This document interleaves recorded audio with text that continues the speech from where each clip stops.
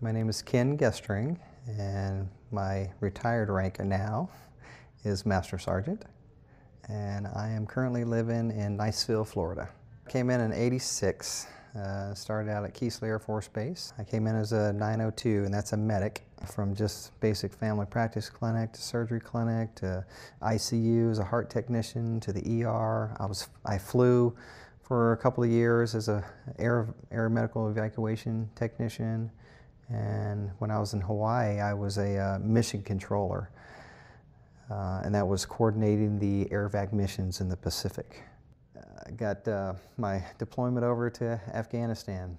So that was uh, almost a year long experience. Uh, we, you know, a lot of that uh, training gets included in there and stuff like that. And, and then the actual deployment's nine months. We had engineers that would go out and inspect uh, different projects, uh, roads, buildings, schools, walls, district centers, bridges, whatever things that were being funded by the government, uh, we would have those uh, engineers inspect them, make sure they were being to a quality standard. And we were out wandering around and um, trying to find this project to inspect.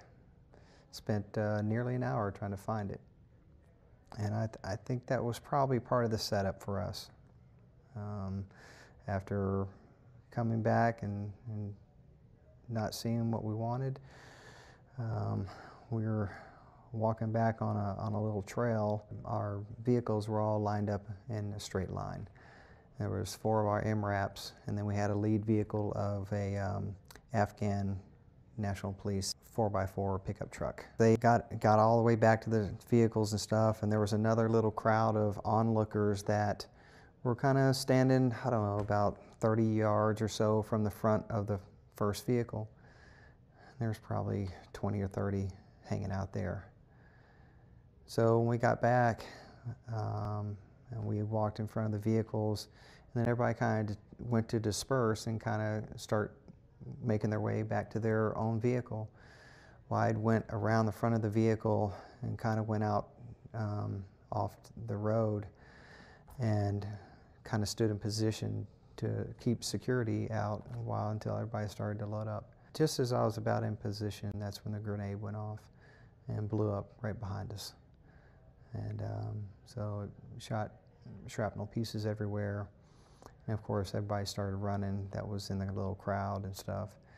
And then, uh, I mean, it, it, blew me down to the ground, and I guess the rest of everybody else that was halfway decently close, they guesstimated I was about 15 feet away. And so uh, I just stayed on the ground, and I, I knew something had hit me. And so I just stayed on the ground, crawled to the nearest vehicle, and then we all kind of just, you know, looked around, make sure everything was secured and see who was potentially maybe going to shoot at us or do something else. And then, and then all of a sudden, my medic senses just, that's when I just was like, okay, I know there's other people hurt.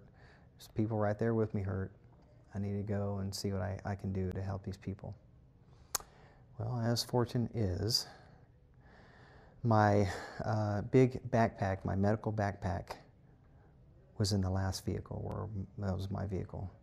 So we're talking about 50 yards away. So the uh, Army captain, that's the platoon leader, um, told another two or three guys to run with me back to my vehicle and keep me secure. So that's what we did. Ran back to my vehicle, got my medical bag, and then we ran down the other side of the vehicles and uh, came all the way back up front and there was already some people laying down on the ground and I just set up what they call a, a CCP or a casualty collection point. There's four kids that were unable to be attended to. They were already dead. And that, I mean, it's really saddening for me because they were all about my kids' age. I just went ahead and started treating the people that were there that I could take care of. And um, there was uh, another Afghan um, policeman that was severely injured that uh, I took care of as well as I could and um, patched him up, put airways in him, and um, got him loaded up to one of their vehicles so they could they were going to take him to one of their local hospitals. But I found out he eventually died later also.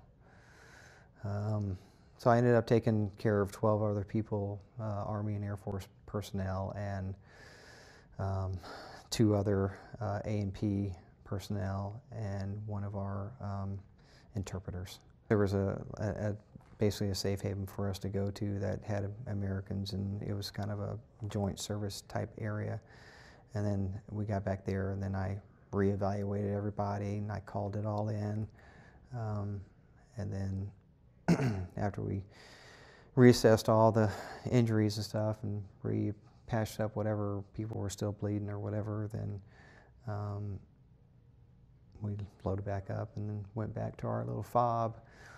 And then that's where um, the, uh, the doc that was our Air Force doc that I was working for was there with the rest of the Army medics and Air Force medics. I had injured my neck and my back and shrapnel on my leg. My recovery was still kind of ongoing. The shrapnel, I, basically took it out myself uh, while I was at our clinic there. Um, uh, mine, like I said, were in my leg, so I wanted to take them out. So um, I did let the, uh, there was a, a, PA there and that was uh, helping out um, an Army PA. And uh, she goes, can I at least numb it up for you? And I said, sure, you know, you can do all that part of it, but I want to be take, I want to take it out. So, but she made the incisions and then I took the tweezers and pulled them out myself. I thought uh, since retiring I would be golfing a lot and it hadn't worked out that way. No, I've just been working a lot on uh, our new house. I think the most obvious is probably meeting the President Bush. You don't get that chance very often.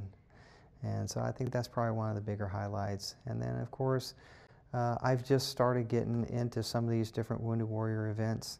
Uh, I played in the Warrior Games earlier this year for the Air Force in Colorado Springs. So that was kind of my initial initiation to the Wounded Warrior events. So um, I, am just happy about meeting new people that uh, are also uh, wounded, injured personnel, you know, that I will share different stories with.